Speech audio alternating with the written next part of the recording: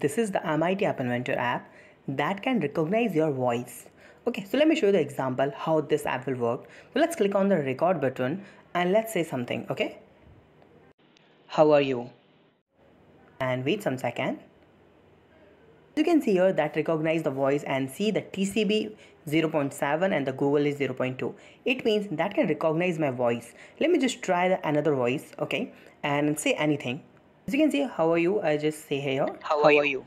And as you can see, TCB 0.7. Now let me just try the Google voice, okay? Some other voice and let's try this, how this will work.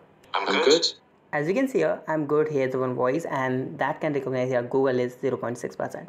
It means we can recognize our voice and we can create an amazing app using this. People have the face lock app, people have the fingerprint app. We can have the voice lock app using this amazing feature. Okay.